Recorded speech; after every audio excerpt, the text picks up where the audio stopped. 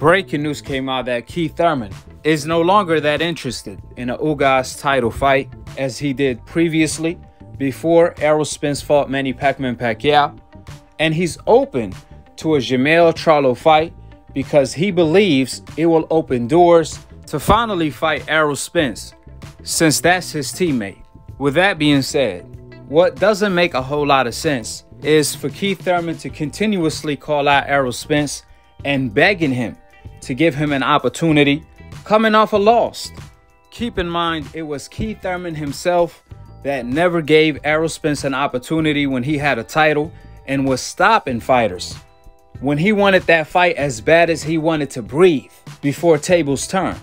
But at this moment in time, we passed that point. So how can one time get a shot at Errol Spence just one time? It ain't no secret. Errol Spence's longtime goal is to become undisputed at welterweight, in which we all know the title holders are Errol Spence, Terence Crawford, and Ugas. Therefore, it doesn't take a genius to figure out if Keith Thurman really wants to get the Spence fight, instead of sitting down doing nothing for years after coming off a loss, we know that's not the way to get the Errol fight. How about cut off the supply and demand by fighting and beating one of the title holders? That's exactly how you get yourself back in the mix, back in the conversation, by winning an actual title. Errol then will have no choice but to entertain Keith Thurman. However, sitting on the bench, putting blame on everyone except the person in the mirror, that ain't the way to go. That will get one time nowhere. What I can't understand or comprehend is the fact that when news came out earlier this year that Errol Spence was negotiating with Ugas in order to set up a title unification bout. Since the WBA placed Pacquiao as the champion in recess for negotiating with Conor McGregor and Ryan Garcia, who trolled Pacquiao to losing his title.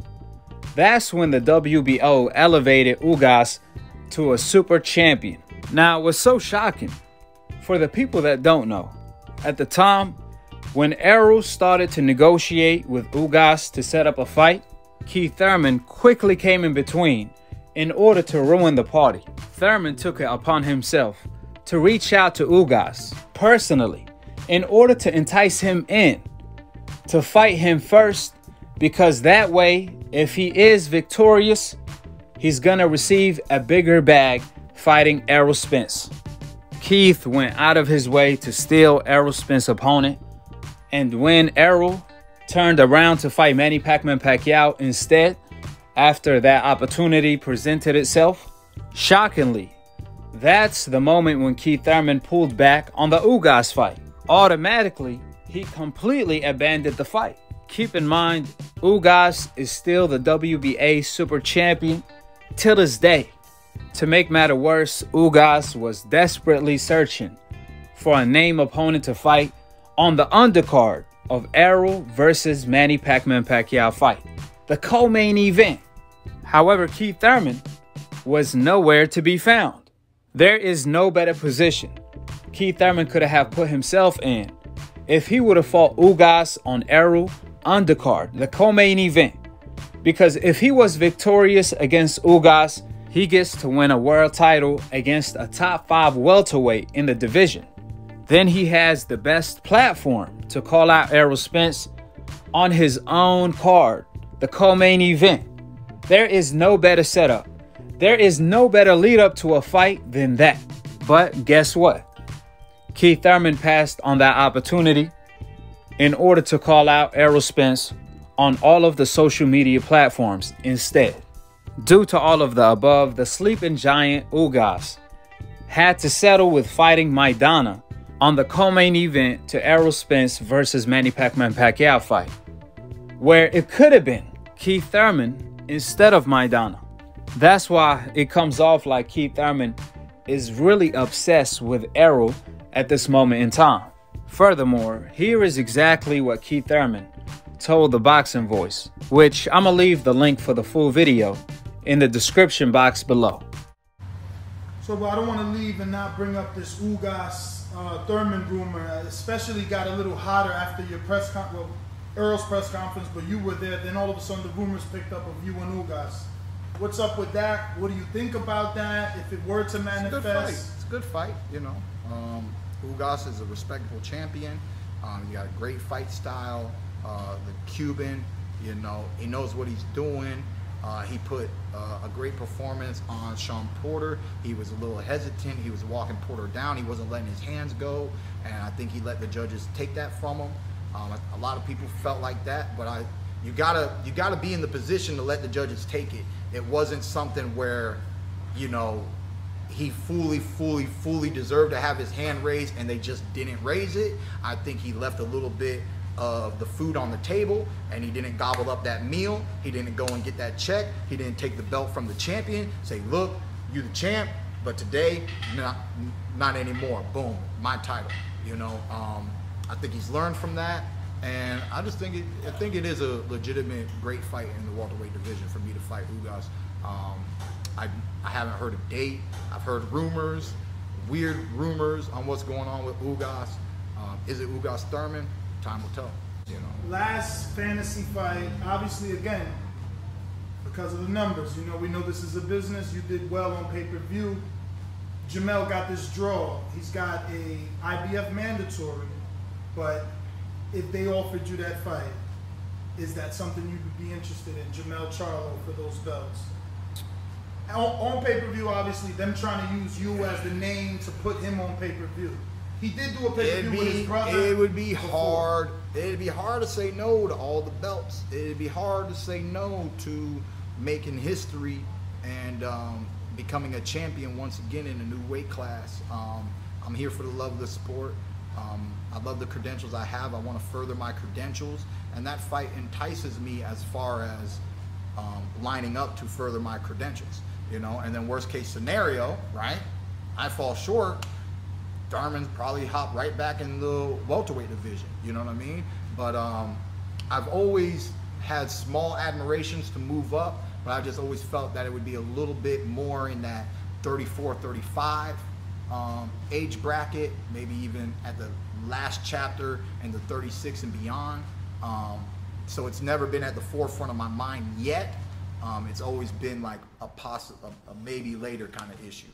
But you know, too many belts, too much, too much for the history books. I might, have, I might have to sign up.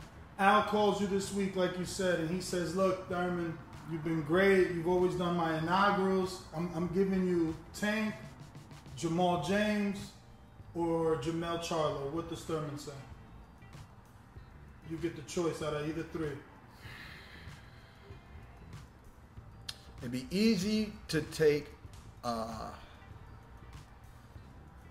I, I, would have to I would have to think about it, but you know, Tank seems exciting. It's right at welterweight. I get to do me. He gets to try to make make history for him. Moving up, I get to try to make a, a, a new history. But once if I win, then I got to defend at 54.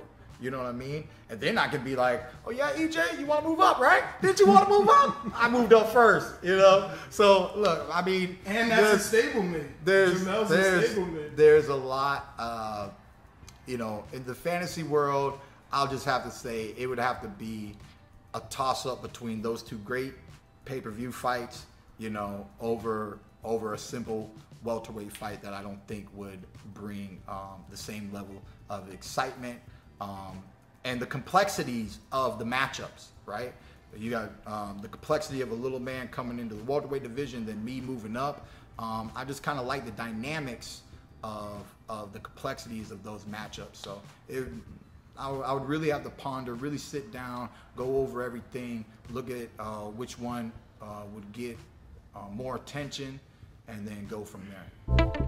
As you all heard, Keith Thurman is oblivious to the Ugas fight even though they on the same stable, even though they were in talks earlier this year. So if Keith Thurman wants the Errol Spence fight, why he has no clue on what's going on with Ugas?